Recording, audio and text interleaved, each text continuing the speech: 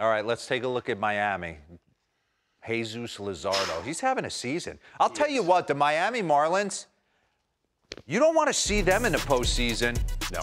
Sandy Alcantara, Luzardo, an offense that can sting you. Mm. Take a look at his pitch usage.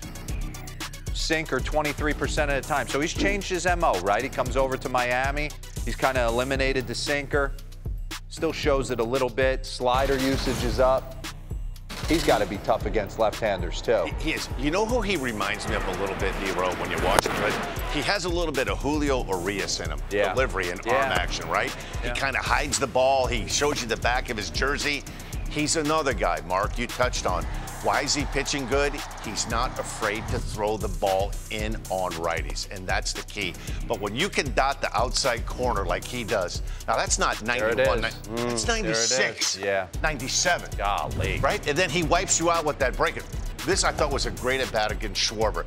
97, and he comes back with another one, 98. Could you imagine 97, It's 98? the same way he attacked Olson. Bingo. Exact same way. And then the thing that I love about this this pitch that he gets him out in, that appeared to be a strike. You see a lot of 0-2, 1-2 non-competitive breaking balls. He comes in on Soto, then he goes breaking ball away. So he's went in, he's went away.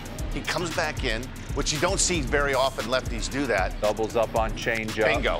He's still not. He's, Ripples up on it. He's made him aware of the ball in, in, in. Here's another one. 98 stands him up. I mean, this is classic right Wow. How many left-on-left changeups did you throw? Not very many.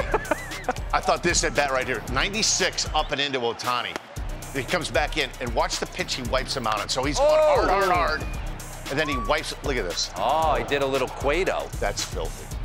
But when, but both when you throw the ball in, and Dero he throws hard. Yeah. Like he's 97, 98. This isn't 92, 93. Little sinker slider guy. This is a guy 96, 97, and it's got some hair on it. And it's fun. It's funny. He's got his work cut out for him, right? You got Tucker and Alvarez, who Robert made a great point in the Zoom call. Would you even bring in a lefty to face these guys, Yeah, no, I, or do you just bring in your best reliever? Yeah. Because the numbers bear out that they don't care.